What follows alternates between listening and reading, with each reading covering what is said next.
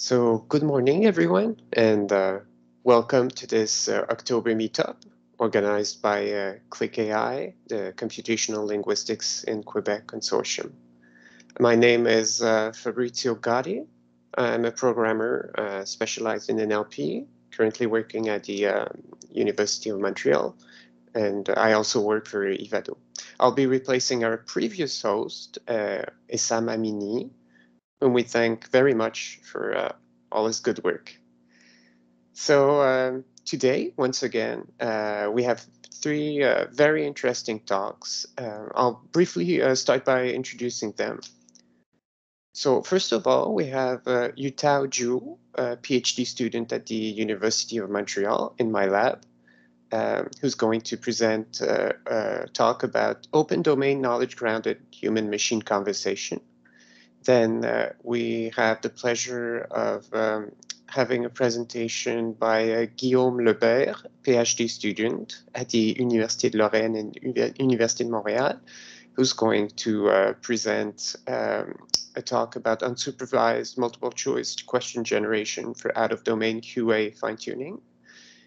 And then we're going to have a talk by Florian Carichon, a PhD student at HEC Montréal, on abstractive unsupervised summarization of temporal events. So before we start, I'm going to ask everyone to kindly turn off uh, their cameras and mute themselves so that uh, we can enjoy the presentations um, without any distraction. Every talk is going to be followed, as usual, by a five to 10 minute question answering session. So if you have any question during the presentation, you can write them down and then ask them at the end of each talk. We're going to move on now to the first presentation by uh, Yutao Zhu, a PhD student at the Université uh, de Montréal. Yutao, uh, if you want to share your screen, the floor is yours. You can start whenever you're ready. Okay, thank you, Fabrizio. You're welcome.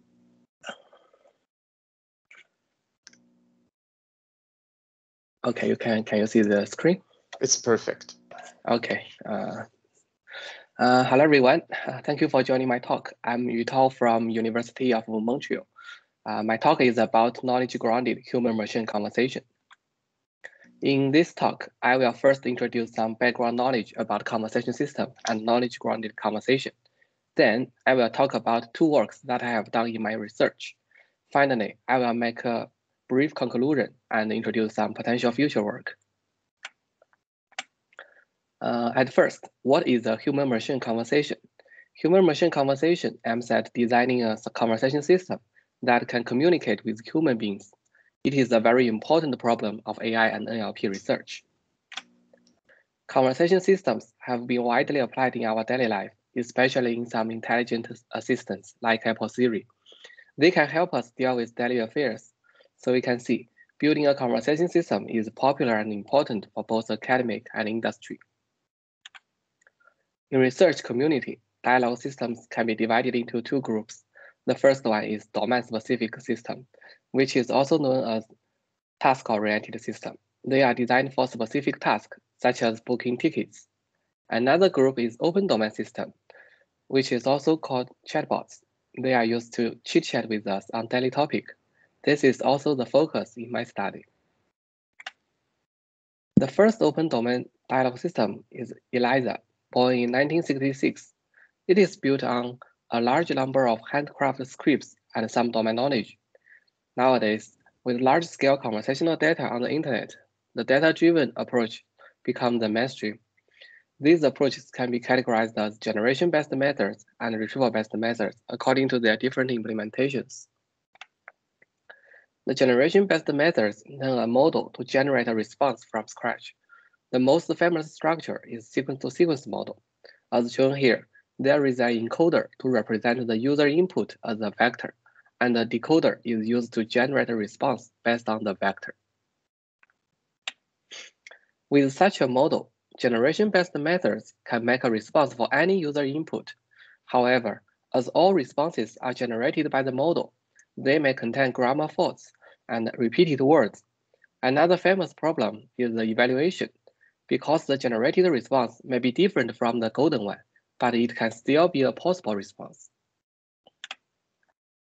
On the contrary, retrieval-based methods do not generate a response, but select a response from a large repository, as shown here.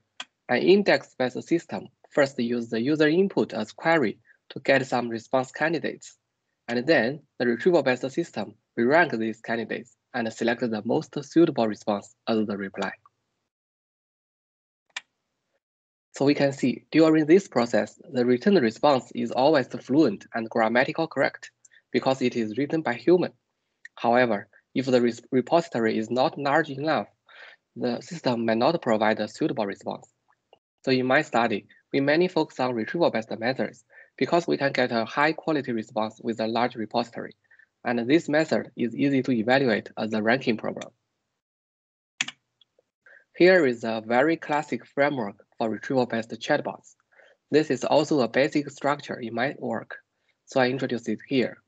We can see the whole framework has three stages, including representation, matching, and aggregation. In the representation stage, the dialog context and the response candidate are represented by a pre-trained embedding table and a recurrent neural network. Then, in the matching stage, a matching map between each utterance and the response is computed. Convolutional neural network and max pooling operations are applied here to extract matching features. Finally, in the aggregation stage, these matching features are, are aggregated by another recurrent neural network and compute the final score. With the methods mentioned above, the system can return a fluent response for the user input, as shown in the left side. However, we can see it is still difficult for the chatbot to dive into a specific topic. So there is a still a big gap between human conversation and human-machine conversation. One of the primary reasons is the lack of knowledge.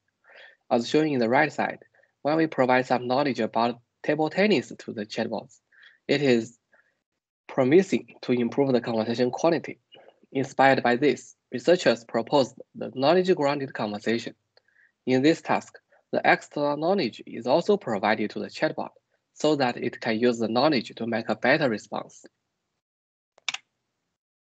Here, I briefly introduce three knowledge-grounded conversation tasks. In this task, the knowledge is represented in different forms. The first one is personalized conversation. In this task, the user profile is used as external knowledge, so the chatbot can use this profile to make a personalized response. The second one is document-grounded conversation. This scenario is usually appeared on some online forums. For example, on Reddit, people can talk about a new a new stock document in the thread, so the knowledge here is re represented by a document. The third one is knowledge graph-based conversation. As shown in the figure, the knowledge is represented by a graph. So here, I want to summarize some important problems in the knowledge-grounded conversation. Some of them have been tackled by existing studies. The first one is how to collect the data. There, are, there have been many studies on this problem. Now we have many conversational datasets with knowledge in different forms like the document and the knowledge graph I have shown. The second problem is how to select the knowledge. The knowledge usually contains a lot of information, but only a part of it can be used in the conversation. As, as the example shown in the left side, we color the content in the document that is used in the conversation. So we can see not all contents are useful. To select the knowledge, existing studies propose some methods based on attention mechanism. However, we find that some irrelevant part of knowledge is a noise, so a hard selection is more helpful. This is one work in our study. The third problem is knowledge integration. In existing studies, the knowledge is often used to improve the quality of the response, but this system can only work passively. We think that with the knowledge, the system can perform more proactively. For example here, when we have the knowledge about the movie Inception, then the system can proactively talk about the director and the introduction of the movie. We will introduce this kind of proactive conversation later. Finally, evaluation metric is, is also an important problem. there are some methods proposed for general conversation, but none of them is designed for uh, knowledge-grounded conversation. This is an important future work of our study. Now, I will introduce the work that I studied. Before that, I want to give a definition of our task. In my study, I focus on retrieval-based methods. The input of the task includes a dialogue context containing several utterances, a knowledge pool, and a response candidate. Our target is to learn a matching model to predict the score for the response candidate. Our first work is context-aware knowledge selection. This work has have been presented at ECIR conference. Let's use the example to show the problem. This is a conversation between two people. They are talking about the movie Inception. The knowledge about this movie is provided by a document here, which is a kind of extra knowledge. The colored part is used in the conversation. I show three response candidates here. The last one is the golden response, which should be selected by the model. R1 and R2 are two negative responses. Existing methods will predict a high score for R1 because it contains many contents from the document, but it is not a suitable response. We can see the last utterance U6 asks a question, is it a long movie? This question is not answered by R1. So this example tells us merely select the response containing document content is not enough. The response should be consistent with the dialogue context. That is to say, when we select the knowledge, we should consider the dialogue context. R2 can answer the question in U6, and it also uses the knowledge provided in the document. However, it is still not good because it is redundant with the third utterance, making the conversation very boring. So this example tells us when selecting knowledge, we should focus on the recent dialogue topic rather than the whole dialogue context. For the first problem, existing studies proposed several soft selection mechanisms based on attention, but we think it is not enough. The irrelevant content in the document can still influence the model we propose a hard selection mechanism in which the irrelevant part will be directly filtered out. For the second problem, in existing studies, all dialogue contexts are used for knowledge selection. The above example indicates we should focus more on recent topics. Our method is called content selection network. As can be seen, we design a selection mechanism here. This is our main contribution. The document is selected based on the context. Our selection mechanism are in two levels, namely the sentence level and word level. After the selection, the context knowledge and response candidate will pass the matching aggregation framework, which is the same as I introduced in background knowledge, so the details will be omitted here. So at first, the context knowledge, and response candidate are represented as vectors by a pre-trained embedding table and a bidirectional LSTM network. The principle of selection mechanism is using the weight to update the representation of the word or the sentence. So we design the selection in two levels. For sentence level selection, the whole sentence will be set as the same weight. For the example here, the weight of the sentence is 0.8 as for word level selection, each word in the sentence will be assigned to different ways like this. Here, I use an example to explain the sentence level selection. The left side is, as is three utterances in the context. The bottom is the sentence in the document containing the movie name Inception. Here, our selection is to, to decide whether this knowledge sentence is useful. To achieve this, we compute the cosine similarity between each utterance and the knowledge sentence. We can see the first utterance have a high similarity. After getting three scores, we fuse them as a final score. This final score reflects the relevance between the knowledge sentence and the whole dialogue context. As we introduced earlier, the irrelevant part of knowledge can be a kind of noise, so we filter it out. This is achieved by adding a gate here. If the matching score is less than the gamma, we will set it as zero, so the corresponding sentence is filtered out. The gamma is a threshold hyperparameter, which will be tuned in our experiments. After the gate, the weight will multiply with the original sentence representation, so the representation is updated. Imagine that if the score is zero here, the representation will be masked, so our filtering is achieved. This is the sentence level selection. As for word level selection, things are similar, but we compute a weight for each word. The, ir the irrelevant words will be masked. The second problem we should solve is that the recent topic in the context is more important for knowledge selection. So we design a decay mechanism. Following the previous example, we multiply the similarity score by a hyperparameter eta. The eta is set less than 1, so the former utterance will have less weight. In this example, we set eta as 0.9. We can see the first score will be decayed most. In this way, the model is forced to concentrate on the current utterances when selecting knowledge. After knowledge selection, the remaining part is a standard matching aggregation framework, so I skip the details here. The whole model is optimized by a cross-entropy loss with the label. We conduct experiments on two document-grounded conversation datasets. The evaluation metric is required K, which is commonly used in ranking problem. Here are results. We, we can see our proposed method can achieve better performance than the baseline on all datasets. This demonstrates the effective, effectiveness of our proposed hard selection mechanism. Besides, we find word level selection performs slightly better than sentence level selection. I think this is because the word level selection can capture more fine-grained information. So in this work, we propose the context-aware knowledge selection model. We show that a hard selection is very effective in knowledge-grounded conversation, and the recent dialogue topic is much more important in knowledge selection.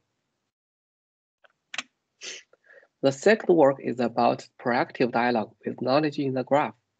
This work is presented in SIGIR conference. In the previous works and existing studies, the knowledge is used to enhance the quality of the response but the system can only work passively. They are unable to initiate the conversation, ask a question, or start a new topic. So the conversation may be boring quickly. Actually, we find that using knowledge can help the dialogue system become more proactive. Here is an example to explain what is a proactive conversation system. In the left side, the dialogue, uh, the traditional dialogue system can only reply to the user passively while in the right side, with some knowledge, the chatbot can propose some new topics. Here, the chatbot can recommend the movie MacDowell to the user. Proactive conversation system is newly proposed in recent years.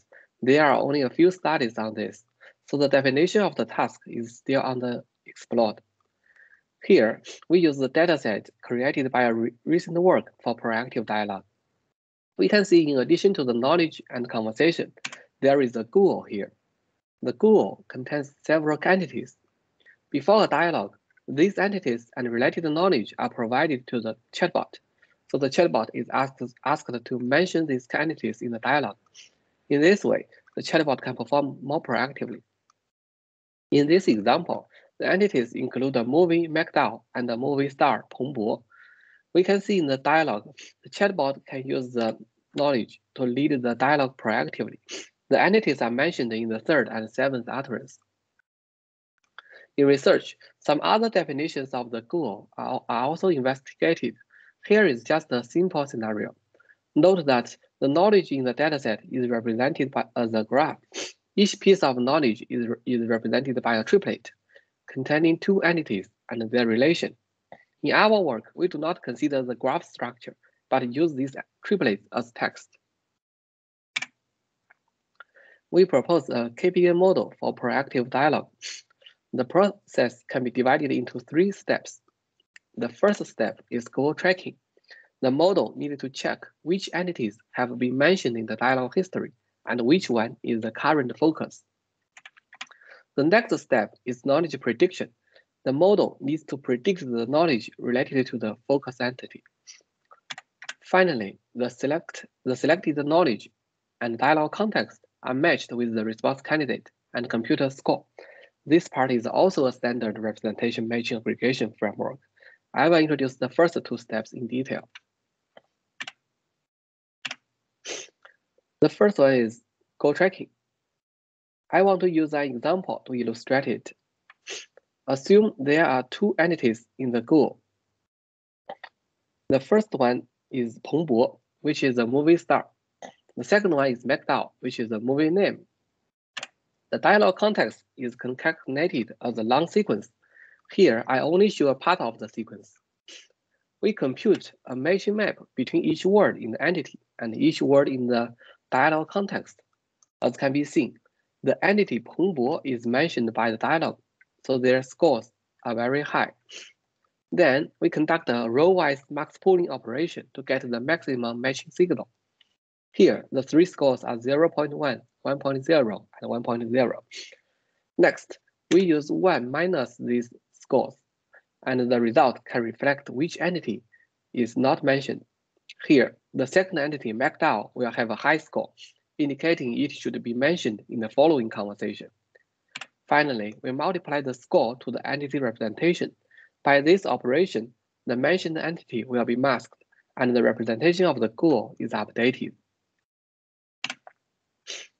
After getting the focused entity, the next question is how to predict its relevant knowledge. I, use, I also use an example to describe the process. When predicting the knowledge, we should consider both the dialog context and the goal. As analyzed in previous work, we, we know the recent dialog is more important. So here, we, we simply use the last M utterances, and M is a hyperparameter. We first compute a relevant score between the goal and the knowledge triplet. This score reflects if the knowledge is about the focused entity. Similarly, we can also compute score between each utterance and the knowledge triplet. So we get m plus 1 scores here. Then we fuse these scores by a multilayer perceptron and output a final score. This final score is the weight of the knowledge triplet. So we multiply it with the triplet representation. In our experiments, we find the knowledge prediction is very difficult to learn. A potential reason is the whole model is trained by the final response selection loss. So it is difficult to tell whether a mistake stems from the misuse of knowledge or other problems in the structure. So to tackle this problem, we propose a heuristic method to label the knowledge triplets. These weak lab labels can directly optimize the knowledge prediction process. So here is an example for how to get the weak labels. Consider the dialog context of course, could you recommend a movie for me? I can watch it in the weekend. The golden response is you can watch MacDow, which is rated 6.9. It is obvious the first piece of knowledge is used in the response. So we want our model to predict the first piece of knowledge before selecting the response. To get the label, we match the golden response with, the, with each knowledge triplet. Here, the first one is matched so its label is 1. The other two knowledge triplets are not matched, so their labels are 0. We compute the knowledge prediction loss based on the label by cross entropy. The loss can supervise the knowledge prediction process directly, and the final performance can be improved. The remaining part is the standard representation matching aggregation framework. I skip the details. The whole model is trained by a combined loss with the weight lambda. We conduct experiments on two datasets. They contain a goal, a knowledge graph, and corresponding dialog. We test all models in two scenarios and evaluate them by several metrics. Here are the results. We can see our method can outperform existing work significantly. The first group of metrics evaluate the performance of response selection. We can see our model has better performance. The second group of metrics evaluate the performance of knowledge prediction. This demonstrates our proposed weak labels can help the knowledge prediction process. The last metric measures the performance of goal tracking. It is clear to see that our tracking method is very useful. We also conduct an ablation study, and we can see both knowledge and the goal are very important in this task. So in this work, we propose a multitask framework for proactive conversation system We use weak labels and design a goal tracking mechanism. This kind of system can make the conversation more interesting and more informative. In the future, we'd like to explore more complex goals in the task. During the study, we also find some challenges, but uh, that should be tackled in the future, including the integration of various knowledge and evaluation method. We find that in the conversation, we human can use knowledge from different sources and knowledge in different forms. For example, we know ants are smaller than elephants. This knowledge may be constructed after we see the two animals. So the visual modality help us on building such knowledge. But in knowledge-grounded conversation, this kind of data are difficult to collect. Even we can collect some knowledge in different forms, it is still hard to reconcile them. This is a very difficult problem. Recent years, some researchers proposed many multimodal datasets. We think it may be a potential solution. Finally, the evaluation method for conversation is a well-known problem because there are more than one golden response in the world. We can see different sentences. We can use different sentences to reply to others, but we can only collect some of them in the datasets. So sometimes the response different from the golden one may, may also be a possible response. Traditional reference-based metrics like BLEU and ROUGE cannot tackle this problem. So researchers propose several non-reference-based metrics like BERT score to compute the similarity between the generated response and the golden one in vector space. However, there are no specific metrics for knowledge-grounded conversation. This is more challenging because the knowledge is involved. The context consistency and knowledge consi consistency should be balanced. We believe it is a very important problem in the future. That's all for today's talk. Thank you. If you have any question, you can ask me. Thank you so much, uh, Yutao Zhu, for your uh, excellent presentation. So um, we have about uh, a few minutes uh, for questions. Um, if you have any question, you can use uh, the button in the upper right corner of uh, Teams to uh, raise your hand and then uh, we can you can ask your question. So uh, as there are no questions right now, uh, Yutao, I have a few questions for you. Mm -hmm. um, uh, I'll start with uh, on slide uh, 32. Um, you show the uh, importance of the hyperparameter um, eta mm -hmm to uh, select uh, the the topic uh, that is important to to model that element of the dialogue. Yeah. But my question is. Um, would it not be very important to take into account the very first sentence, the very first utterance in such a dialogue? Because in the first one is very special. It, it sets the, the topic for the rest of the dialogue. So does it not uh, warrant a special treatment, that very first utterance? Uh, uh, I think uh, it depends on which kind of conversation we have. Uh, for example, in our daily life, our uh, first our first sentence in the dialogue may be some greetings like hello, hi, like like this. So so so this um this is not important for the dialogue. Uh, but but if we are talking about some specific topic, uh, that that that may be more important. Uh, so here I, I, I just want to say uh, if if the dialogue is is very long, uh, so so more more recent uh, sentences in the dialogue uh, are more are more important. I see, but uh, I think it, it may be interesting to to find the maybe the very first important topic that is uh, broached uh, within the dialogue so that you can maybe focus on that because usually a dialogue has an important a central topic that could be identified and that could be weighed uh, a little more heavily uh, than uh, topics satellite topics if you want mm -hmm. yeah so so i think uh, we, we, we may be uh, need a mechanism to find which uh, utterance in the dialogue is, is more important currently. Uh, it, it, it may be better for the model, I think. Right.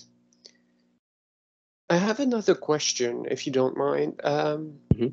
So uh, eta here is a hyperparameter, and yeah. uh, have you uh, looked into uh, its uh, uh, impact on the results? I think on the next slide you show the results for that system, or yeah. do you have an idea? do you, have you worked on ablation studies that would be yeah, focusing yeah, on eta? Yeah.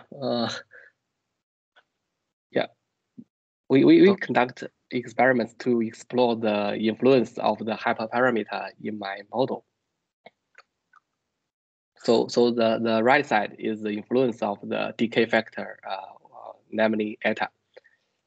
Oh, so when eta is one, there is no decay effect. All dialogue contexts will be used equally to select the knowledge. We can see the performance is not very good. When eta is zero, only the last utterance is used for knowledge selection we can see the performance also dropped. So this experiment tells us the last utterance uh, is, is, is, very, is very useful. You're right.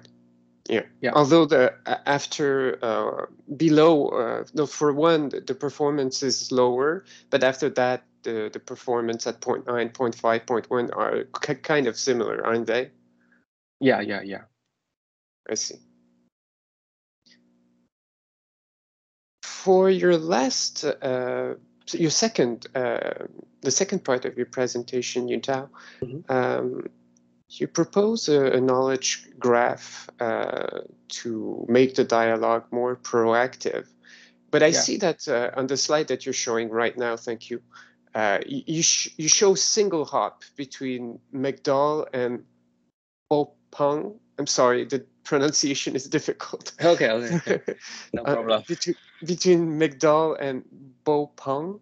So, uh, would it be possible to have multi hops so that you can go from McDowell to Canada, for instance, uh, by by jumping yeah, yeah, yeah. over one uh, node? Yeah, yeah, it's a very good question. Uh, this is this is related to the construction of the dataset. So in in this dataset, uh, there is uh, we only uh, we only have a one hop or two hops relation. Th th this is determined by by the original author of the dataset. I think if there are more hops, the the task will be more difficult. So so this is only a, a study in early stage. I see. Yes, because uh, you said that you're still uh, in the, the definition part of the task because it is so new.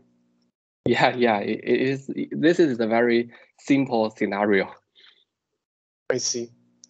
And uh, you show the evaluation metric for that part, but evaluation is so hard for, for that task. Um, I was wondering, would it, do you have an idea of the performance if you select a random entity uh, in the neighborhood of the main entity and propose it to the reader. Uh, uh, maybe randomness uh, offers interesting performance.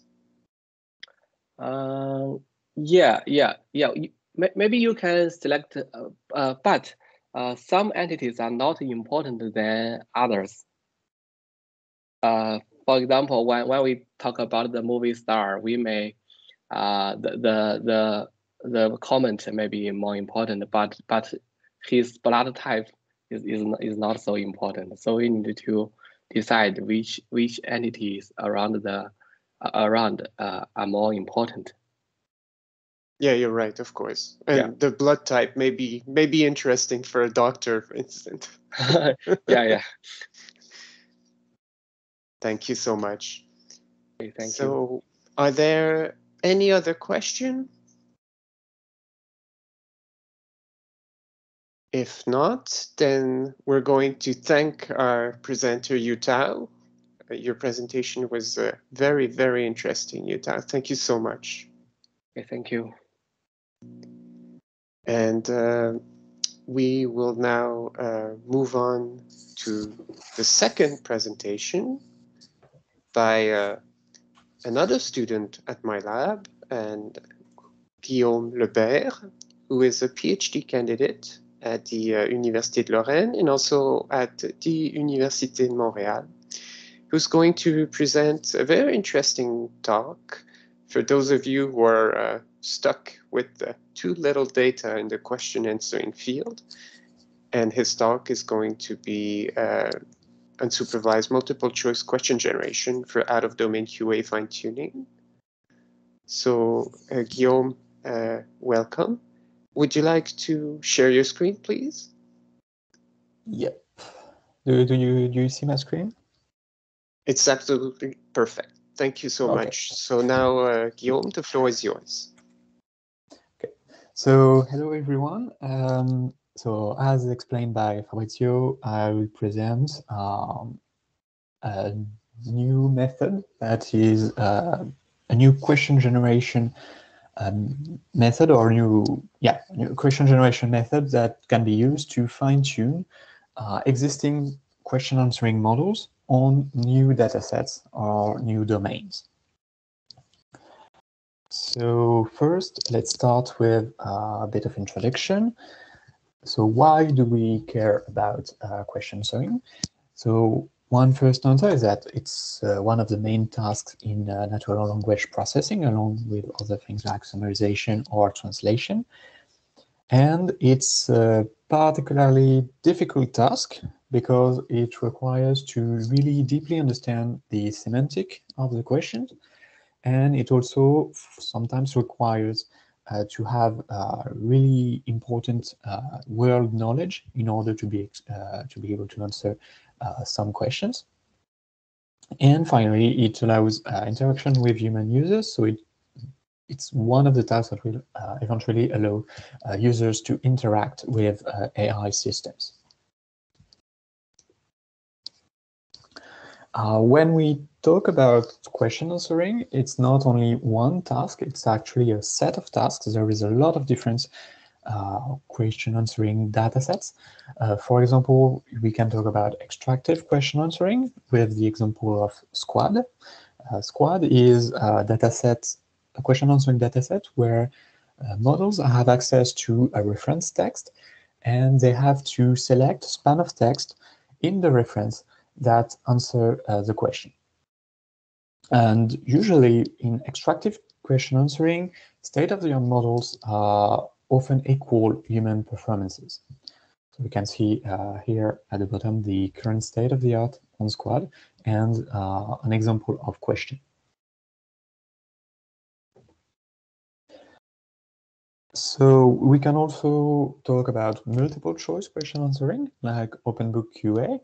Uh, OpenBook QA is uh, composed of questions with each time four possible uh, answer choices and this time you don't have access to reference text. So you need to have some kind of world knowledge in order to be able to answer each questions. And this world knowledge can be uh, can be from previous training or from uh, an external database, for example. And usually on this kind of more complicated question answering datasets, uh, human performances are not yet equaled by deep learning models. And of course, there is a lot of other examples of uh, question answering datasets. We can talk about, for example, uh, BoolQ, that is um, a yes or no type uh, question answering dataset, or there is also narrative QA, natural questions for abstractive uh, question answering, and of course, other multiple choice question answering dataset like Common Sense QA, ARC, MC Test. And Traditionally, this task of question answering was uh, quite difficult for deep learning models because first, the databases that are, are often small, the, the datasets that we use need to be constructed by uh, uh, human annotation, and it's, uh, it's, it's quite difficult to, to, to build them. You, you need uh, a lot of time to, to annotate the, the data. And so this small size of the datasets is really problematic because usually deep learning models need a lot of uh, data. And furthermore, some questions require, uh, as I said, a good world knowledge. And so it, it's a bit related to the first point. If you don't have uh, that many uh, training examples, you won't have uh, word knowledge uh, broad enough to be able to answer uh, new questions on different domains. And uh, in addition, it is you in order to answer a question, you usually have to understand the meaning of the question, the semantic of the question, and this can be uh, problematic for uh, deep learning models. And so recently, or more, not so recently now, but uh, pre-trained models have been uh, introduced uh, these pre-trained models, such as BERT, uh, RoBERTa, or T5, are trained, are previously trained on uh, large uh, data sets of annotated data. Um, they are trained with some form of uh, word demasking task. And uh, they quickly became like an, an essential in question answering, since nowadays most state-of-the-art models in question answering are uh, pre-trained models. And so one such dataset that we can uh, that we studied is Unified QA. So Unified QA is based on a T5 model, and as such is um, is composed of two transformer uh, one encoder and one decoder, and is actually a sequence-to-sequence -sequence model. So you input a sequence uh, of word to the model, and it will output a sequence of word. Uh, one particularity of Unified QA is that unlike previous models that, have, that are trained with one particular type of question answering in mind, such as uh, extractive question answering, for example, some previous model would, would uh, be trained only for extractive uh, question answering. Unified QA is trained on all the different types of question answering all at once. And this is allowed by the fact that it is a sequence-to-sequence -sequence model. So every type of question answering is transformed into a sequence. For example, in for abstractive question answering, you would you would have the reference text, then the question, and the model would have to write down the span of text that uh, that is the answer, uh, things like this. So, and for multiple choice, you would input the question plus uh, all the different answer choices, and again, you would ask the model to uh, write the answer. And Unified QA is a really successful model, and it, it is actually uh, state of the art on a large number of uh, question answering datasets. So what's the problem with that?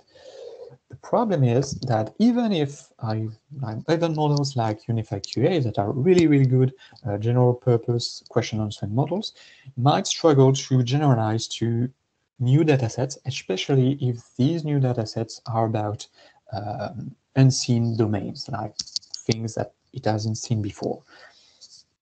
And so rather than using annotated data to to, uh, to, to retrain or to uh, fine tune the Unified QA to these new data sets, we would like to be able to automatically and uh, in an unsupervised manner generate question for that data set and fine-tune Unified, Unified QA using these questions and then see if we can obtain uh, better results. So in the following, we will explore the these idea of generating, generating questions in order to fine-tune Unified QA on new datasets. Um, in order to test our question generation process, we needed some datasets that are uh, complex enough, that have uh, like complex enough uh, domains, and that have not been used when training Unified QA.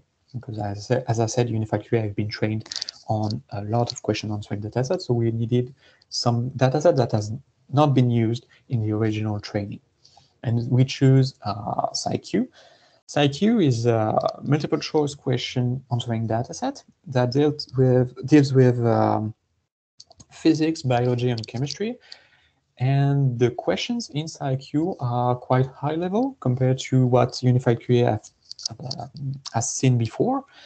And um, they are about really specific uh, things in uh, physics or biology. So here uh, at the bottom of the frame, you can see an example of question in uh, SciQ. So as you can see, it's pretty high domain compared to the high school uh, level questions used originally uh, to train Unified QA. And one thing that would be important for uh, the following is that even though you're not supposed to use the support text for uh, to answer the question, each question in uh, SciQ is adjoined with a support text that gives the required information in order to answer the question. We also tested our method on two other datasets that are QASC and Common Sense QA. And these two have a similar form to SciQ, meaning that they are, they are both multiple choice question answerings with uh, different uh, multiple uh, uh, choices for answers. However, the themes that are represented in the questions are quite simpler, and uh, most of the time the distractors are easier than SciQ, meaning that uh, most of the time a human user will be able to eliminate one or two uh, distractors just because they, they do not have the required lexical field or they are they do not respect the grammar or things like this. So next uh, we'll present the method that we use to generate uh, the questions. So first thing uh, we needed to have some data, some uh, word uh, information in order to, to start the, the generation. And so we extracted pages from Wikipedia. We actually started from the three main themes of SciQ that are physics, biology, and chemistry, and we extracted every page that uh, that is labeled by one of these themes or any sub-themes recursively. And we kept only the first paragraph, paragraphs, so the summary paragraphs of each page, and these paragraphs are split into sentences, and each sentence is uh, filtered.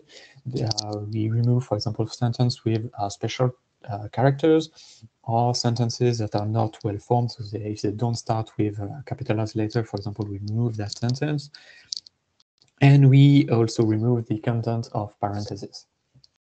So here you can see different examples of sentence uh, sentences that we that we obtain by this process. And as you can see, we obtain like quite uh, simple sentences that uh, that are really useful when generating questions.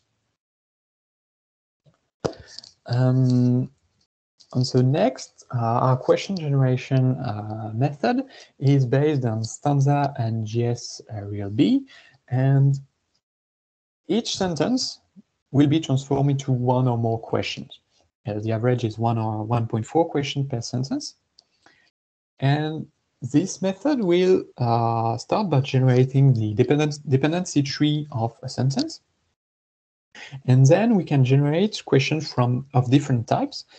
And depending on the type of question we want to generate, we will search for particular, a particular structure in the dependency tree. For example, if we want to generate a what type of question, we will search for a noun phrase in the dependency tree, and we will replace that noun phrase by the uh, interrogative word, in our case, what, and then rearrange the other words, actually the other uh, phrases in our sentence to get a question out of it. And again, here are examples of questions that we obtain with this process. So uh, yeah, as you can see, the, the questions are of uh, are quite good in general. They are off. Sometimes they can be of, a bit weird, like in the case of that first question, which is a bit long and a bit weird, but uh, overall they are quite of, uh, of a good quality. Now, since we are dealing with uh, multiple choice question answering, we need to select a set of distractors, so a set of wrong answers to adjoin with each question. Uh, a simple approach to do this is to select random distractors. And in order to do this, we select we actually select three random distractors among the right answers to similar questions. So similar questions mean uh, if it's a what type of question, we will search for uh, similar uh, questions or other what type uh, of question and we'll select um, three distractors among the answers to these. So one problem with uh, such, a, such an approach is that the distractors that are selected are not that good in the sense that uh, even for even if I don't know anything about biology, I will be able to eliminate most of the distractors in that question just because they don't deal with the right uh, domain. Like uh, climate, for example, has nothing to do with the question. So we needed to find a way to refine these distractors and to find harder distractors. And to do this, we used uh, another pre-trained model, RoBERTa. And what we did is that we took our questions that are generated, generated with random distractors, and we trained RoBERTa to uh, solve the question answering task.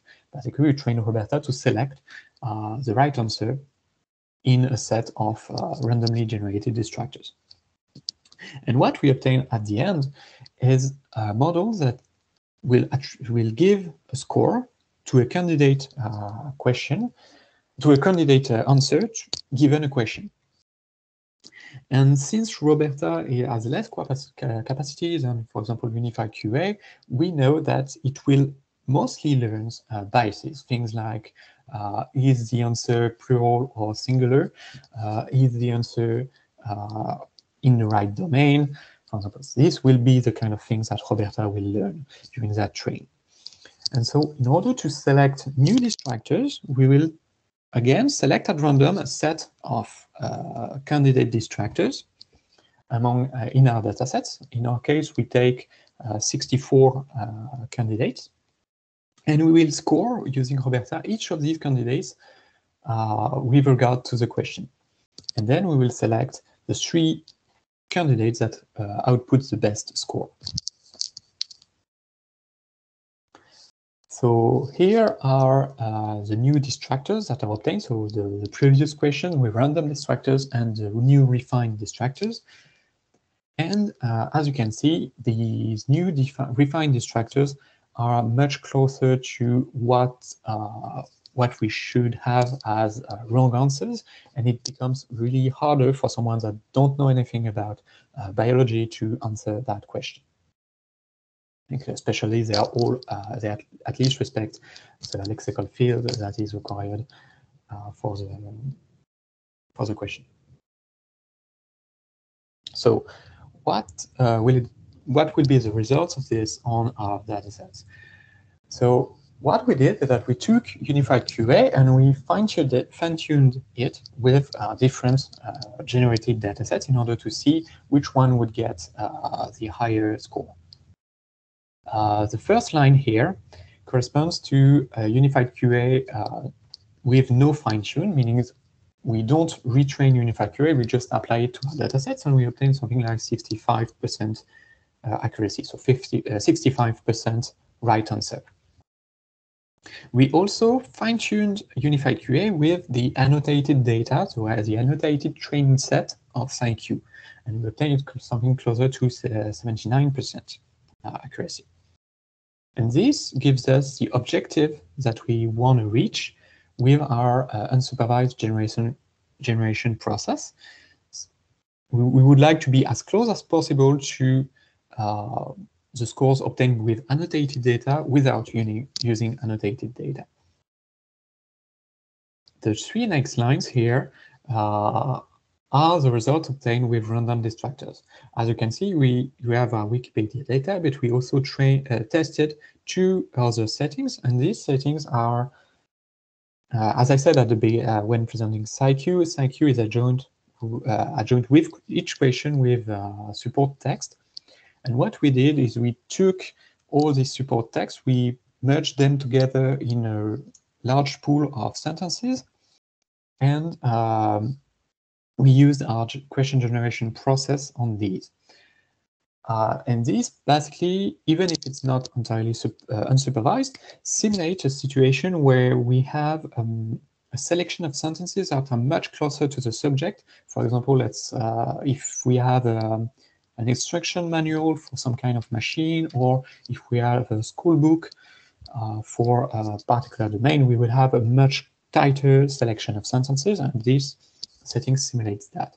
And we compare two different uh, settings for this dataset, one where we use both train and test set support text, meaning that we are sure 100% that the information required to answer the questions are present somewhere in our sentences.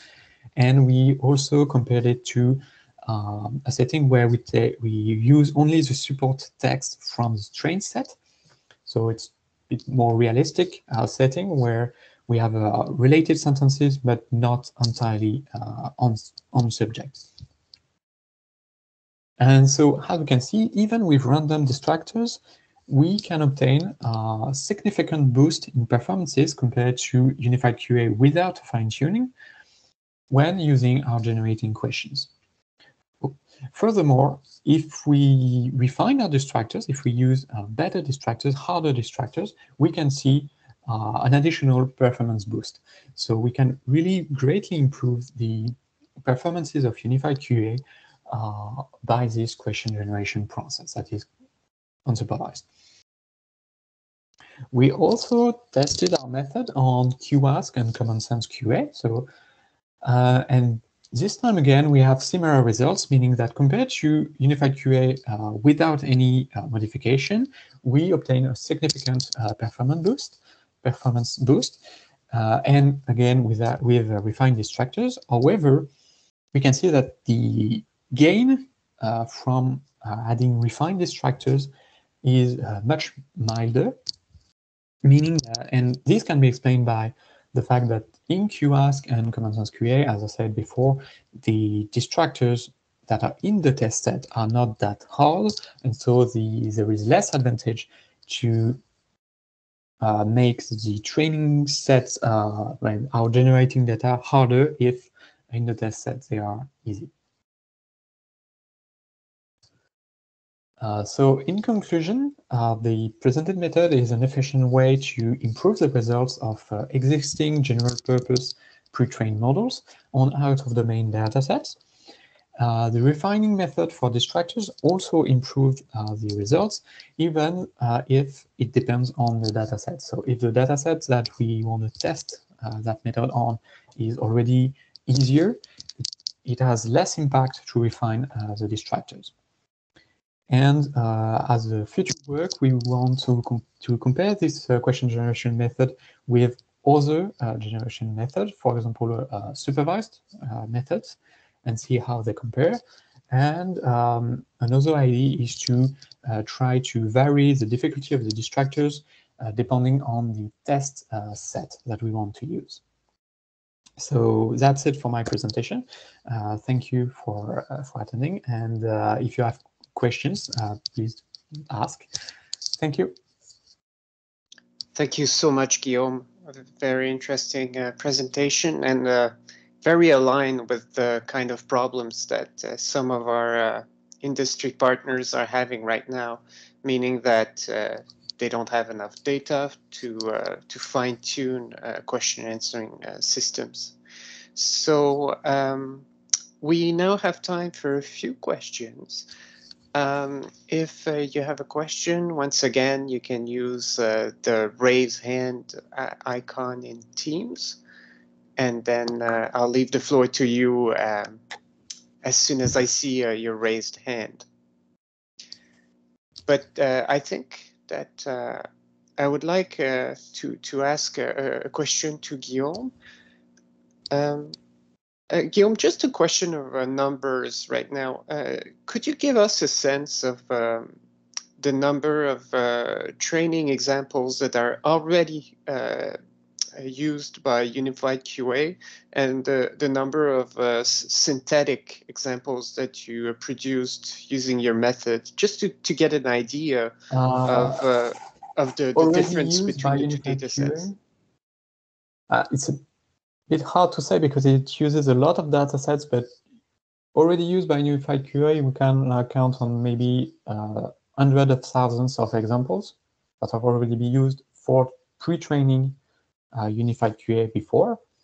And the number of generated questions for my dataset is around uh, 100,000 questions. Okay. New question so, at the end. So you yeah. match the volume of unified QA? Uh, no, I wouldn't say so because I think Unified QA is closer to maybe 500,000 or or more because, uh, for example, they, they use data sets like SQuAD that are quite big in comparisons, along with uh, datasets like OpenBook QA that are really uh, really small. So uh, again, it's an estimation. I'm not sure about that number. I understand. Um, have you run any experiments where you uh, you uh, vary the size of uh, the number of examples that you generate to to get a sense of uh, the impact on performance? Uh, not yet, but that's uh, one of the things. Yeah, we we want to do, like test with additional data, maybe scrap Wikipedia with a, with a larger set of Wikipedia, for example, yeah, of course, because you have, uh, thanks to your method, you have almost an unlimited supply of uh, of possible questions. Yeah, but they, they have to be on point. So that's why we, right now, I limited myself to uh, to the pages that were uh, dedicated to a really limited set of themes in order to match the, the themes that uh, the domains that are used in Q.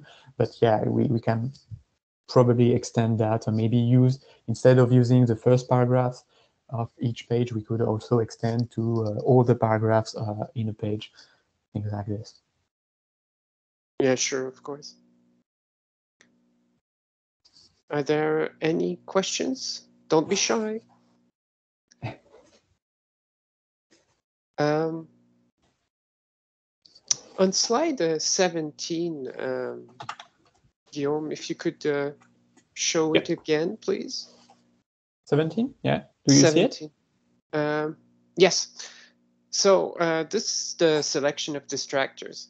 Um, I think that the risk with that kind of method is that you can select a distractor that is actually a, a, right answer. And on slide 18, you show an example where you have just that, where uh, you propose mesophile, but the refined distractors include carbohydrates and small cell fragments called platelet. And these two answers are correct. Yeah, the living part is quite debatable, but yeah, you're right. Uh, it's found living in or yeah, you're right, in or on the bodies or other animals. You're right. You're right. Um, it's it's actually one of the. That's why we. There is two reasons why we limit the set of candidates. Uh, first, because we cannot set a test or generate the score for every candidate in our dataset and every equation. It would be too long. But that's also the reasons is that we don't want to generate too much right answers so by selecting a limited set of candidates, we limit the possible new distractors. So we limit the probability that RoBERTa will select uh, right answers. Uh, but anyway, the it's it's not that much of a problem if it doesn't uh, happen too often, actually, since uh, deep learning models are able to to cope with that. Uh, as long as uh, you don't have uh, all right answers among your distractors, it will be okay. Yeah, of course. Uh, maybe uh, another option would be to set some sort of threshold uh, yeah. of similarity and say that you will only accept distractors below a certain similarity threshold. Yeah, that's what one of the the idea that we had to make uh, the difficulty of the distractors vary. Uh, it would it, it, it was similar to that. So instead of taking the three first or the three best, we could like either set a threshold, as you said, or uh, select I don't know the uh, the number five, uh, four, five, six, for example, instead of uh, one, two, three, or let some some don't take all don't always take the best distractors, but yeah, take uh, some some things that is in the middle, not good, not bad, or things like this. Of course, yeah.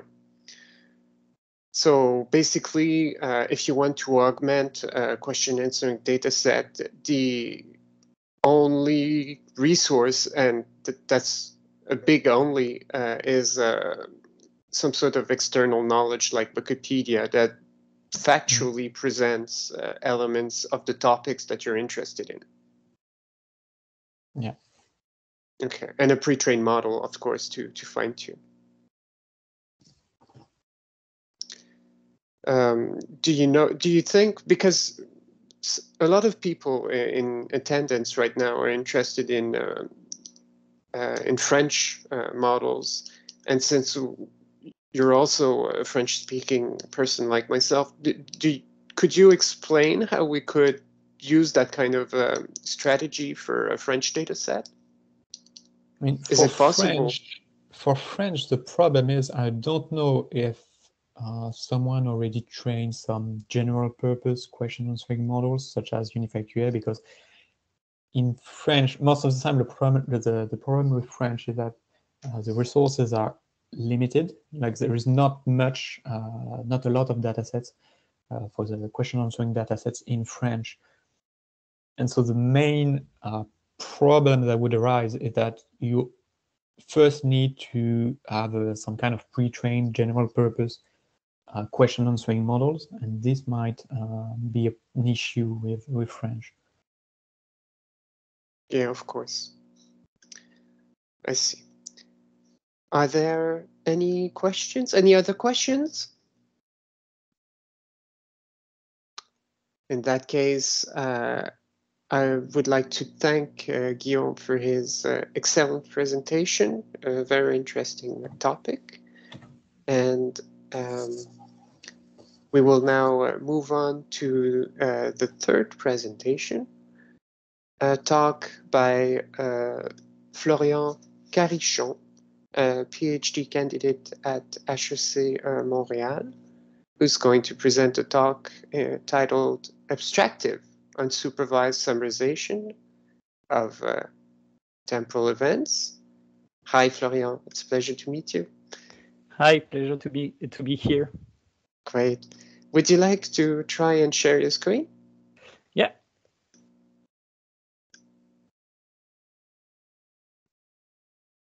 Okay, that should do it. It's perfect. Perfect.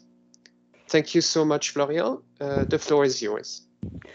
Okay, thank you. Um, so uh, yeah, I'm, uh, I'm going to uh, introduce quickly myself. So uh, I'm Florian Carichon. I'm a PhD, uh, PhD student at HEC Montreal, currently in third year. Um, and uh, I'm going to present you an abstractive unsupervised summarization, uh, summarization model of temporal events, which we called host. Um, this project was funded under uh, a Mitacs agreement with the uh, Fédération des Caisses Desjardins du Québec, uh, IVADO and HEC, and I had the occasion to work on this project with uh, several uh, data scientists at Desjardins that helped me a lot on the on that project. So uh, today for our presentation, I'm going to make a quick introduction of automatic text summarization in order to for uh, everyone to have a, a, common ground of uh, what task we intend to do. Uh, then I will introduce uh, our uh, model. Uh, and at the end of the presentation, we will discuss about the different results that we obtained and make a quick discussion of, of what our next steps could be with that project. Um, so to make a, a, an introduction of uh, automatic summarization, uh, I like to uh, remind what is automatic text summarization uh, in the first place. Uh, so this is the process of uh, taking information, distilling information contained in the different documents. With, it can be one single document or multiple documents. and you try to produce by the means of a computer, obviously, a reduced uh, version of, uh, of that text uh, usually no longer than half of the text. And what is really important in the definition too is that uh, this material should be oriented for a particular user and for a specific task that are going to define uh, the uh, information needs that we need to manage during the process of automatic text summarization. So uh, once we know this uh, definition, there are uh, uh, three classic steps in the process of automatic text summarization that are uh, always found in every systems. Uh, the first one is uh, that you need to find a way to represent information in order to highlight the con the content uh, in the input document that might be considered important for your uh, user's need or for the task that you try to handle. Uh, then you have a part of scoring the text document. So you have to design a function that is going to put a score on the on the on the different text representation that you, you created uh, and that's going to allow you to uh, to uh, score positively or more importantly the the uh, the important segments that you want to include in the end of the of your summary. And the uh, last step of uh, automatic text summarization is obviously maximizing that score because now that you have scored the, the important segments of your text, you want to maximize the final score of your summary uh, in order to um, uh, include the, the, the most numbers of elements in this constraint length space, uh, which is the, the, the summary. Um, there is different kind of task uh, in summarization, and I didn't want to uh, to be too specific about it, so I'm just going to be quick on that. Um, for summarization, you can find the first uh, uh task that you can find is either trying to create abstract extractive or abstractive summarizations, which means that either you can try to uh, select uh, segment of information directly from the input document and gather them into your um, uh, final summary, which is called extraction. Or you can try to generate a new piece of uh, text that uh, that try to uh, summarize the, the input documents, which is called abstractive summarization. And once you you've decided to uh, which uh, which kind of summary that you want to produce, um, you have different kind of tasks that you can address. You have all the, the kind of tasks uh, that are guided toward, toward a certain goal. So you find in there the query-oriented summarization where uh, the system is oriented toward uh, specific uh, uh, queries, which are often combined in uh, Q&A systems. You also have sentiment-based summarizations, for example, which are oriented towards specific sentiments that you want to try to uh, uh, summarize. Then you have different kind of, of, of tasks like the opinion summarization, where you try to uh, give another view of uh, general uh, opinions of, for example, customers about a specific product or a specific aspects of a product. you can have personal, personalized summarization, for example, uh, where the content of the summary will depend on the profile of the user, uh, the targeted user of the of this summary. And in the end, uh, the task that is going to interest us today, which is called update summarization, where you have a context where the user have already seen some previous information, and you must produce a new, a new text based on that. So the formal definition is this one that uh, given a, an initial, uh, initial state of knowledge about an event, um, and you have a new set of documents containing new information about this event, uh, the objective of uh, update summarization is to generate a summary containing this new content uh, that you add to the state of knowledge of your user. Um, when we speak about update summarization, we have different kind of, uh, uh, of uh, um, parameters that we must take into account. first, we have to know if our summary is going to be dynamic or progressive, which means that um, in some case, we can have a summary that we add new pieces of information. So uh, we update dynamically the, the, the, summary, or we can um, uh, produce new pieces of information at each iteration, uh, meaning that we progress through time with the summarization. So you can have either dynamic uh, summaries or progressive summaries uh, in update summarization. And uh, of course, you have the kind of update that you have to manage because you can have only one update about an, ev an event, for example. So you have a previous state of knowledge and you generate a, a, new piece of information, or you can you can have a continuous temporal uh, uh, update uh, through time that you need to generate every at every iteration of time. You need to generate a new summary. So um, this kind of update summarization task uh, can have a wide variety of uh, application in uh, industrial world. Uh, we uh, we see uh, the use of this kind of system for the push of notification for mobile application on specific events, for example. So when you see, for example, the CBC News, and you have a new push of notification about a, a, specific event that you want to to follow, you can also uh, update the uh, update the information about uh, some customer interaction in call centers or based on the social networks interaction like Twitter. Uh, Twitter feeds, for example. Um, you can update information about maintain, uh, maintenance.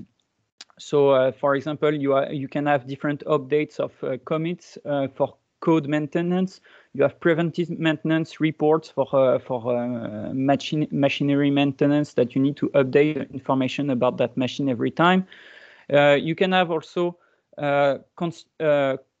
what we call constructing point of view summarization, where you have a previous state of knowledge about some kind of sentiment, for example, positive sentiment, and you want to update your summary based on new sentiments about a product or, or an aspect. So these are the kind of uh, uh, application that you can find uh, in the industrial world for update summarization. Um, so now we, uh, I'm going to present the, the, the methodological approach that we uh, use to tackle uh, our uh, problem. So first, I'm going to introduce what is the dataset that we use to uh, for uh, for our task. So the dataset is called the temporal update summarization task, um, which is produced by the the TREC conferences. So this uh, um, dataset is composed of news events uh, that are relayed by one media. And for each event, uh, we have an update text. So we have a source document. Uh, and for this, uh, this event, we have different updates that are gathered through the updates ID that we can see here. Every time we have an update text uh, related to that update, for example, here we follow an event about a, tra a train crash uh, that happened in Buenos Aires. Um, and every time we have a, a, new update of information, so the second, the, the first update is related to a previous event uh, that happened in the 60, uh, the 70s. Right? Uh, the second update uh, inform us about the number of dead people uh, in the in that accident, and so on. And for every of those updates, we have a, a gold standard reference Uh, uh, that we can use to uh, uh to measure the that we will use to measure the performance of our model later on. So the objective is to keep track of this information over time and to provide a summary every time of that event uh, for every update. Mm, Before going uh, to present uh, the, the, the, specifically the model, I would like to uh, just uh, present some industrial challenges that we had to, uh, to manage because as, uh, as we can see, I, I, I introduced the fact that we have, for example, labeled data in, in this data set. We have to remind that we work in a partnership with the Fédération des Caisses Desjardins du Québec. And for the case of application that we work at Desjardins, we have to consider that uh, the company has very little or uh, no label da uh, data uh, for uh, their application use. And there is a crucial need for unsupervised techniques. and one of the main advantages of using those unsupervised methods also guarantee the reusability of our model. It can be retrained uh, with different kinds of data throughout the, the, the company's needs Uh, in case of uh, multiple uh, use case use cases in the company. One other challenges that we had to manage is that our audience is not very familiar with the the dealing with AI model. The um, so we had to produce some something that is similar to uh, to uh, the output output that human can produce because um, to facilitate the integration of the model in the everyday life of uh, the uh, Desjardins employees. So the abstractive uh, approach was uh, our natural cho choice to do that. And uh, finally, uh, we have to find we had to find a way to manage novelty throughout the different updates.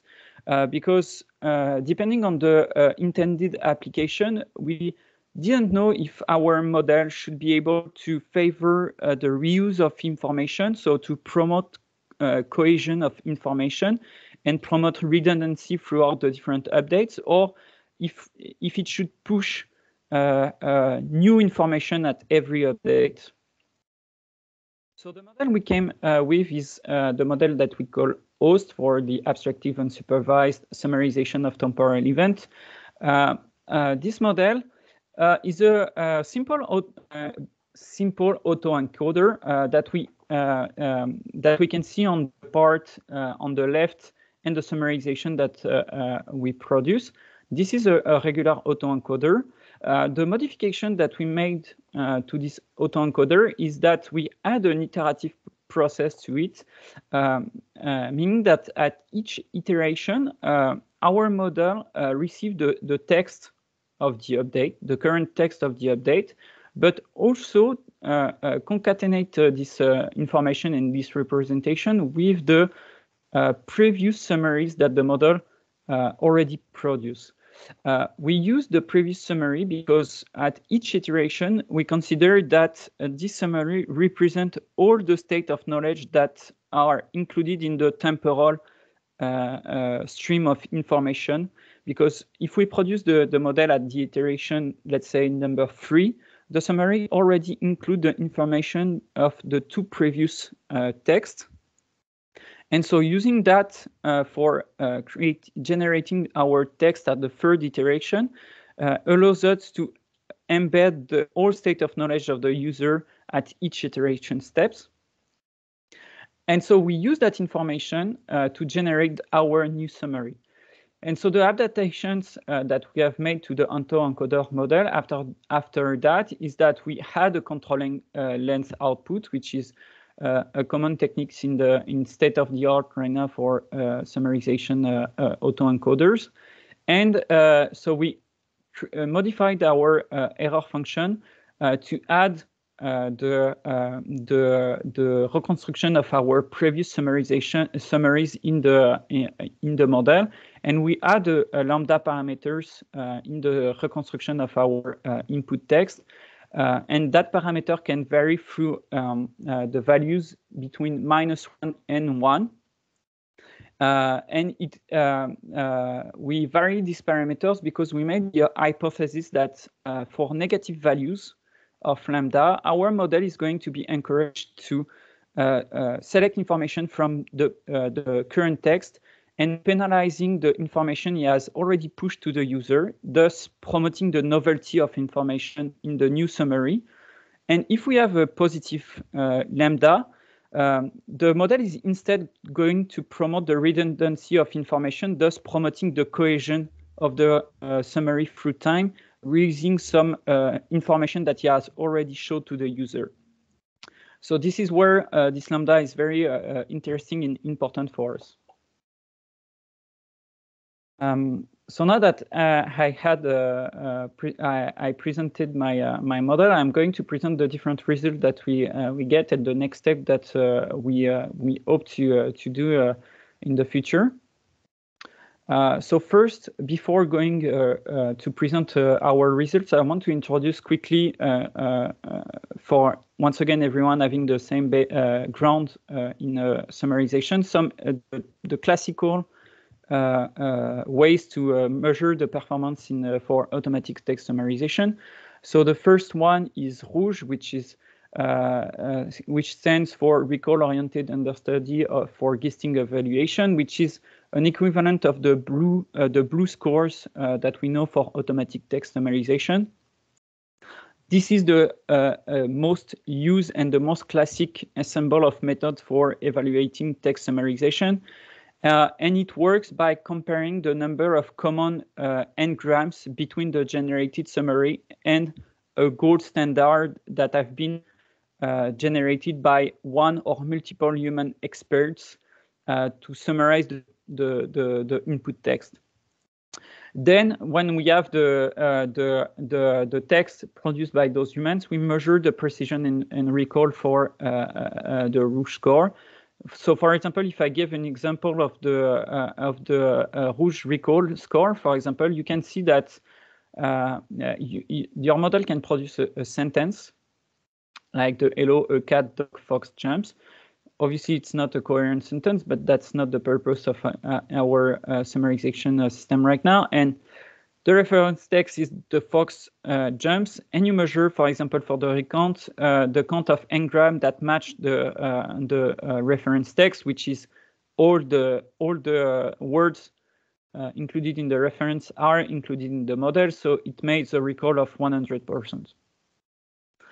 So um, this is a very popular and uh, metric, but in the recent years, uh, a lot of papers have shown that ROUGE present many known uh, shortcomings.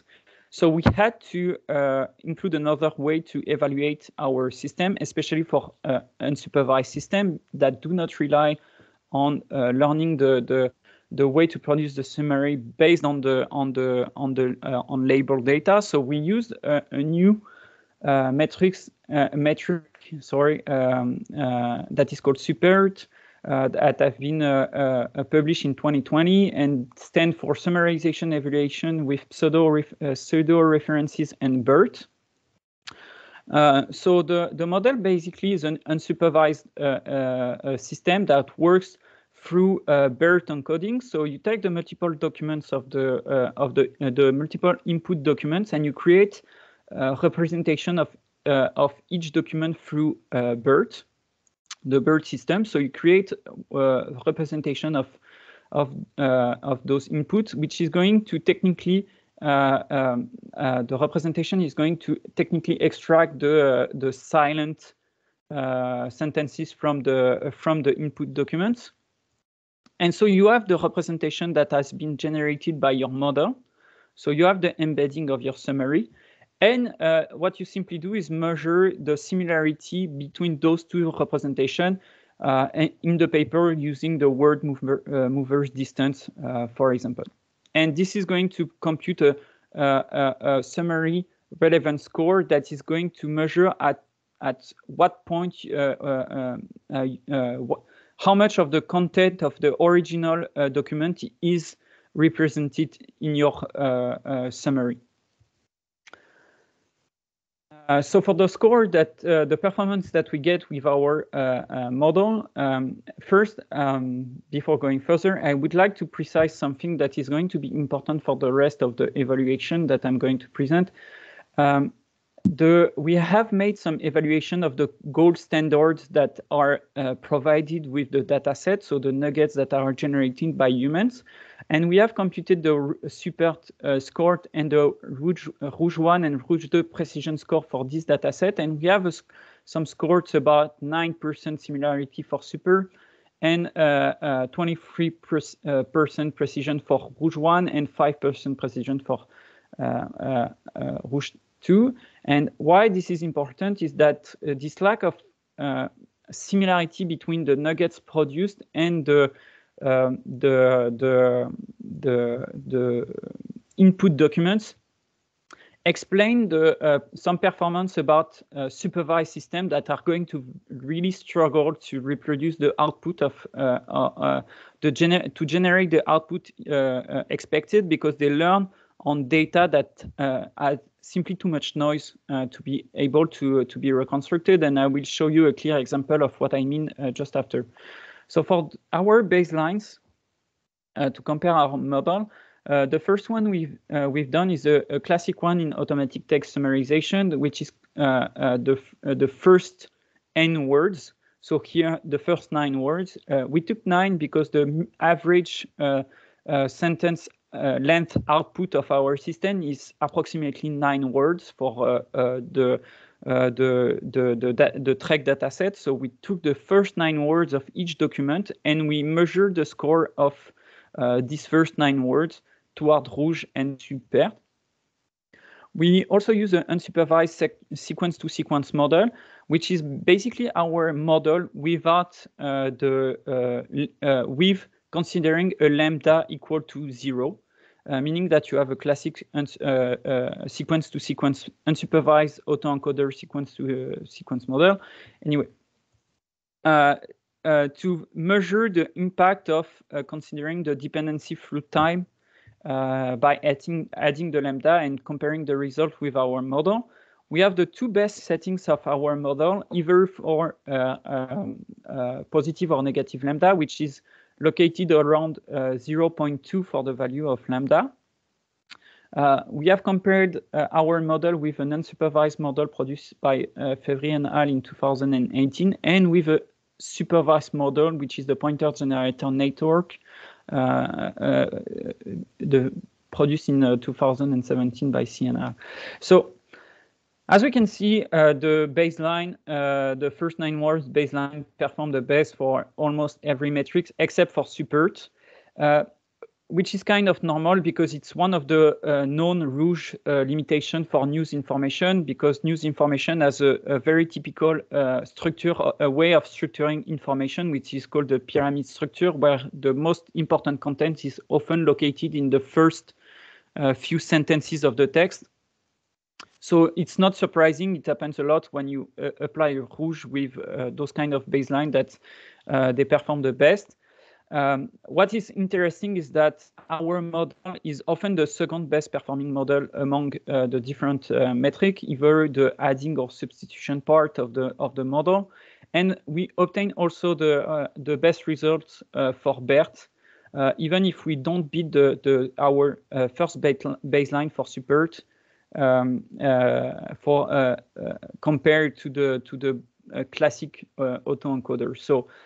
Uh, for SUPERT, the results, the contribution of lambdas are to be like is marginal, but we improve the precision of ROUGE Uh, uh, uh, we really improve the precision of ROUGE compared to that model. So we have very interesting results for the application of Lambda. Uh, and we can see uh, one of uh, the sample of the generated summary that we we have with our model. so I've taken an example of a source text that we have in our TREC dataset. And for each of those source texts, we uh, generated uh, some summaries with our host model with a, a, positive lambda of 0.2, so the add 02 model that we shown before, the one that gave us the best SUPERT uh, SUPERT score.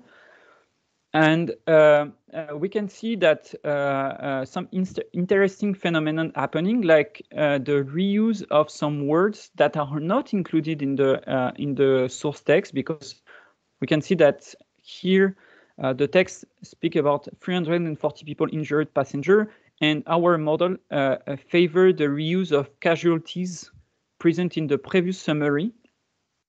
And uh, we can see also uh, uh, the same phenomenon happening in the third iteration, where we we reuse the secre secretary Gen Juan Pablo Schiavi instead of just using the transportation secretary. So uh, here, it's very useful when you produce progressive summarization, when you re replace uh, the previous text with the news, new one in, uh, in push not, uh, notifications, for example, because if uh, uh, someone has missed, for example, one of the push notification, it's desir desirable to um, to reuse, for example, those name entity to to make more coherent summary in the notification push. And uh, one of the phenomenon that uh, I uh, spoke about just before uh, explaining the the poor uh, poor performance of the uh, supervised approach uh, that we uh, try to to to that we try to implement on the on this data set is that for a lot of gold standard nuggets the human the humans that produce the text including information that you can't find in any of the any of the source text like uh, like this piece of information saying that there is uh, uh, 676 plus injuries in the train accident uh, in the train accident, and if we compare to the source text, there is no way uh, for the mod for a model to to uh, come with this number. And for a model which bases learning on those gold standard models nuggets, uh, uh, like the pointer generator, it's uh, really adding too much noise for the model to try to generate those new pieces of information. And and the, the, the learning signal is is very weak. And the model, uh, the supervised model, uh, perform really poorly on on the, on on this data set in a general manner. Um, so for our next steps, oh, I did not know I have a animation. Uh, sorry, here I'm going to, yeah here.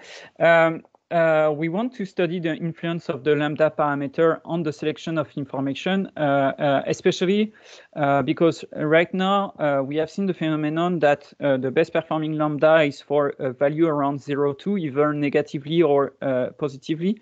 this is due to the fact that extreme value um, extreme value like minus one or plus one penalize, penalize too much grammatical words uh, in the summary pro uh, production, like words like the, of, to, uh, are going to be penalized too much or uh, or uh, promote too much by the model, and you end up with a summary that makes uh, no sense with extreme value of lambda.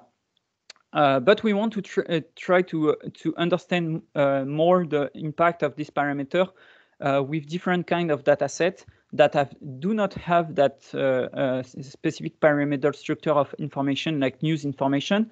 We also want to uh, try to implement the Lambda parameters on different state-of-the-art model like the one we introduced by Févry, uh, to really uh, show the, the, the, the, what can really bring the lambda parameters to different kind of models. And uh, the other next step is that we want to focus on the uh, the novelty properties of of that lambda uh, parameters because uh, uh, we know that the novelty can be applied on different level of the summarization process. You can either apply novelty on the scoring part of elements, meaning that you penalize the score of the elements depending on the novelty you want to promote. You can also penalize the, the, the novelty or in, uh, promote the novelty of information when you select the pieces of text or when you generate text, meaning in the three uh, classic step of automatic summarization.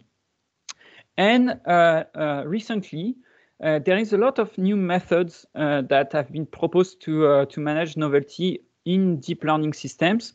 Uh, and we've seen some uh, system uh, adding novelty in the scoring part uh, uh of, uh, of the deep learning system, especially with the diversification of attention learning the, the, in, in, those models.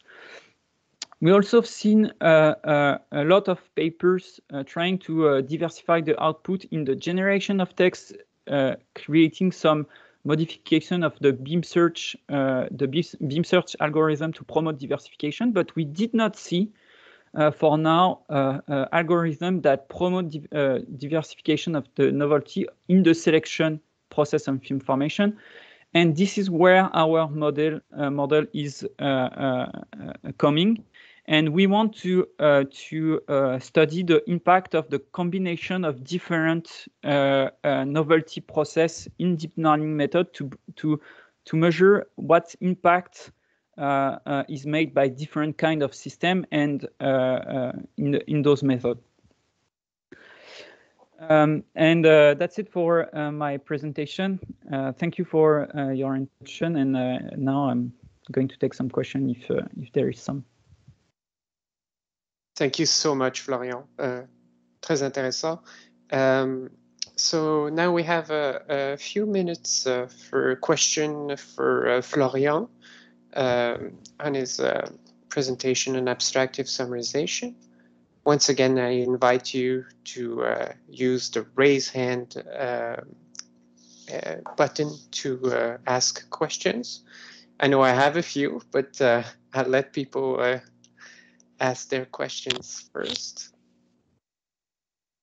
If you have a question, I'll uh, leave the floor to you uh, if uh, you raise your hand.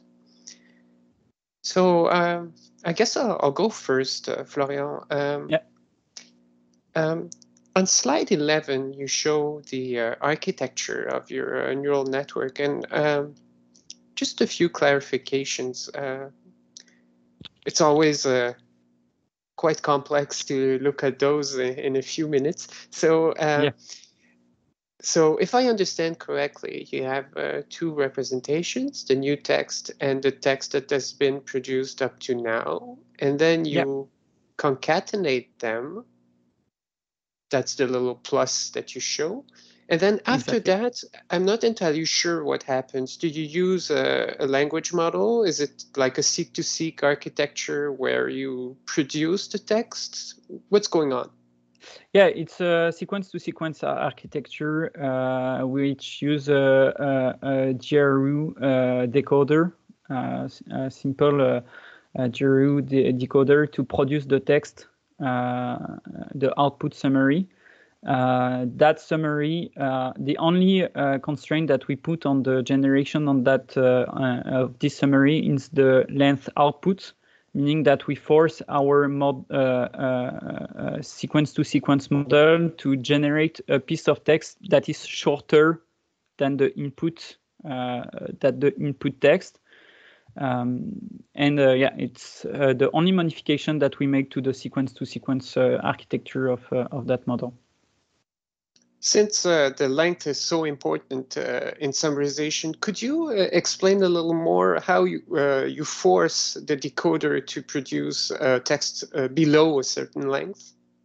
Yeah, of course, we add, we follow the, the paper of Fan and Grangier 2017, meaning that we introduce some categories of length uh, in the uh, decoding process, we create some kind of embedding uh, representing the length of the of the model, which are different categories of length. Uh, meaning that uh, uh, for your input summary, let's say that you want to summary at 15 15% of the summarization, so you can create categories of length for each input summary text that you have um, uh, you can uh, produce like 10 categories, for example, of potential length, and you provide this uh, this category as an embedding uh, to the decode decoding step. And after that, when you provide him this information, uh, you uh, you force the model to stop its generation process at the desired output length, so the model has the information in an embedding to uh, to learn that uh, uh, given the category that we provide to the model, he is going to have some kind of limitation to the number of words he's going to produce at the, in the end of the process. So the model is learning to uh, to say, okay, you give me uh, that category, I uh, I kind of have to predict that I can't put all the words in my uh, uh, generation process at the end. So it's going to learn to uh, select the most important information due to that constraint. Okay. the information you provide in the in the beginning. I see. So uh, if the model produces too long uh, um, uh, a sequence, then it's penalized importantly. And yeah it learns to to to be uh, brief. Exactly. Very interesting. Uh, the when you presented the results, uh, yeah, uh, near the end of your presentation, uh, just after that, the examples that you provided. Um, oh yeah. The next, I think it's yeah, exactly. Um, it seems to me that uh, so there are two elements in the evaluation at, at, at, the very least the human evaluation of summaries. It's the, the content and the fluency so the quality yeah. of the text. It seems to me that the, the content is really good but the fluency is not that great uh, yeah. for the generated model. So uh, the first one is a good example. Emergency fatal casualty suburban train failed brake. It's a very uh, very strange uh, generation. Do you have any comment about that? Uh, yeah, uh, of course. Uh, first, uh, uh, our work is in progress. That meaning that the study of the fluency is going to be made on Amazon Mechanical Turk. So we don't have currently the results for the the, the uh, the, the fluency measure because uh, in most most of the time it's performed by human evaluators uh, evaluators that you ask to measure the fluency of your generated output. And uh, then uh, the the uh, first goal of that project was to propose a model that can improve the uh, content of the generated uh, summaries by uh, uh, handling the novelty or the cohesion of information inside the generated piece of, pieces of text. Now uh, we know that for uh, next steps, we have to improve the the the, the fluency of the model one way to uh, to do that is to use uh, more recent and advanced model because right now our architecture simply re uh, uh re uh, rely on uh, GRU and GLOVES embeddings. we know by using transformers and the new architectures proposed in the literature, the pre-trained model, we can largely improve the fluency of model because it has been shown in the in the uh, um, uh, automatic summarization literature. Um, so we have uh, uh, ways to improve that fluency, but yeah, we know that uh, it's a really uh, a problem that we have to manage, especially for the industrial application of our model. Because one thing that I've mentioned before is that uh, we have to deliver that system to uh, Desjardins employees. Uh, and those texts need to be understandable really easily by those employee employees. So we know that we have to make some improve on that part. Uh, the, the main focus of our uh, papers is uh, is is the improvement of the information, so the content proposed in the, the summary, uh, uh, but for the industrial uh, application, we are going to to make some efforts to to improve the fluency of the model. Yes, it's an important aspect. You're right. Um, are there any other question? Maybe a last one? In that case, I'm going to uh, thank uh, Florian. A very interesting presentation on an interesting topic. Uh, very well done. Thank you. Uh, and um, I'm going to uh, to thank again our three presenters, Yutao Zhu, Guillaume Le Berre, and uh, Florian Carichon. Um, thank you also everyone for attending this uh, meetup. I hope you enjoyed the presentations. Uh, next time, uh, maybe uh, a little more questions from, from the audience. And I would like to invite you to stay tuned for more news about the uh, upcoming meetup, which will take place in November. And once again, uh, a recording of this event and the presentations of Yutao, Guillaume, and Florian will be uh, available shortly on our website at en.cliq-ai.quebec. Uh, I would also like to invite you to provide the feedback via the survey that you're going to receive by mail. By mail, uh, it's also, it's always great to uh, receive suggestions about uh, talks and presentations, or even problems that you would like to see discussed in a talk uh, during this meetup. Uh, always interesting to get your suggestions. So I think that uh, we're going to conclude now. I uh, look forward to seeing you uh, all next time in November. And until then, have a pleasant day. Good day.